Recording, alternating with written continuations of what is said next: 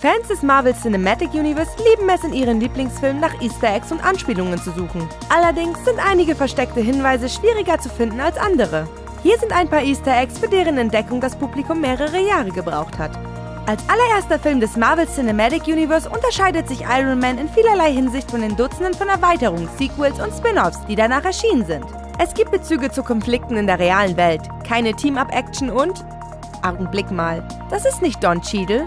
Eine Sache, die das Mega-Franchise jedoch von Anfang an hatte, sind jede Menge Easter Eggs und versteckte Hinweise, die die aufmerksamen Fans zu schätzen wissen. Die versteckten Details in Iron Man sind zwar zahlreich, aber das bedeutet nicht, dass sie alle leicht zu finden sind. Bei einem bestimmten Easter Egg haben die Fans sogar ein gutes Jahrzehnt gebraucht, um es zu entdecken. Tony Starks letzter Widersacher in Iron Man ist Obadiah Stane, sein ehemaliger Mentor und Manager von Stark Industries. Zu Beginn ist er eine recht sympathische Erscheinung, angetrieben von dem Jeff Bridges typischen Charisma, das sogar durch Staines makellose Anzüge und seiner Chromhaube hindurchschimmert. Doch dahinter verbirgt sich eine düstere Realität. Tatsächlich war Stain derjenige, der Tonys Entführung durch die mysteriöse Organisation der Zehn Ringe vorbereitet hat, um selbst den CEO-Posten zu übernehmen. Im explosiven Höhepunkt des Films zieht sich Stain schließlich den Ironmonger-Anzug an und verschafft Tony seine erste Kostprobe im Kampf gegen Superschurken. Im Jahr 2018 bemerkte der Reddit-Nutzer Hello to Horse, dass Stain seine wahren Absichten bereits nach etwa einer Stunde des Films andeutet, indem er einfach hinter einem Flügel sitzt und eine schwungvolle Melodie spielt. Auch wenn die Szene unscheinbar aussieht, handelt es sich bei dem Mann hinter der Komposition, die Stain spielt, in Wirklichkeit um Antonio Salieri, einem Komponisten aus dem 18. Jahrhundert, der in dem 1984er mit dem Oscar ausgezeichneten Film Amadeus als Mörder von Wolfgang Amadeus Mozart dargestellt wurde. Es gibt zwar keine historischen Beweise dafür, dass Sillery Mozart wirklich getötet hat, aber die Version des Komponisten, die von F. Murray Abraham gespielt wird, spiegelt Staines Rolle in Iron Man unheimlich gut wider. Schließlich sind sowohl Stain als auch Sillery ältere, wenig brillante Talente, die das Prestige der jüngeren berühmten Genies so sehr beneiden, dass sie ihren jeweiligen Untergang planen. Guardians of the Galaxy ist eine wahre Fundgrube an versteckten Anspielungen, die Regisseur James Gunn lange Zeit nicht preisgeben wollte. Nicht einmal an Chris Pratt und die anderen Stars seines Films. Obwohl der Film bereits 2014 herauskam, könnte es immer noch Geheimnisse geben, die nur darauf warten, entdeckt zu werden. Denn Gunn hat schon seit Jahren angedeutet, dass eine große Entdeckung lange Zeit unbemerkt geblieben ist. Im April 2020 gab der Regisseur jedoch zu, dass ein großer Teil des letzten großen Guardians of the Galaxy Easter Eggs entdeckt wurde. Einige denken, dass es ein Hinweis darauf sein könnte, dass Peter Quills Mutter Meredith, gespielt von Laura Haddock, in Wirklichkeit eine kosmische Kraft ist, die als Eternity bekannt ist und das Universum selbst verkörpert. Ob das tatsächlich der Fall ist, sei dahingestellt. Jedenfalls haben die Fans in der Blockbuster-Komödie jede Menge Easter Eggs entdeckt, die ihr Geld wert sind.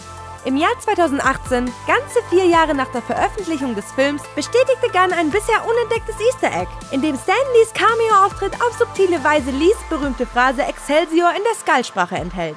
Erst im Februar 2021 wies der Regisseur auf Twitter die Theorie zurück, dass sich in Merediths Gehirnscans ein Bild von Peters Vater Ego versteckt und verriet beiläufig, dass die Gehirnscans ursprünglich noch ein weiteres Easter Egg enthielten, das möglicherweise in der Endfassung enthalten ist. Und dabei ist Guardians of the Galaxy Volume 2 noch gar nicht mitgezählt, der seine eigenen Geheimnisse für wissbegierige Fans bereithält, die es aufzudecken gilt. After all these years, I've found you. Der 2. Februar 2018 war ein guter Tag für Doctor Strange Regisseur Scott Derrickson. Ein Adlerauge von einem Fan hat es endlich geschafft, eines seiner liebsten Easter Eggs zu entdecken, das er in dem Film versteckt hatte. In einem Retweet kommentierte Derrickson diese Entdeckung. Ich habe zwei Jahre darauf gewartet, dass es jemandem auffällt. Twitter-Nutzer Tim. Leiden war der Erste, der auf das Easter Egg hinwies, welches verrät, dass eines der dramatischsten Ereignisse des Films, der Autounfall, bei dem sich Dr. Strange schwer an den Händen verletzt, an einem ganz bestimmten Datum stattfindet. Als Dr. Strange überlegt, welches seiner teuren Uhren er zu der Konferenz tragen soll, vor der er schließlich verunglückt, verrät ein kurzer Blick auf das Ziffernblatt seiner Uhr, dass es sich um den 2. Februar handelt, den sogenannten Murmeltiertag.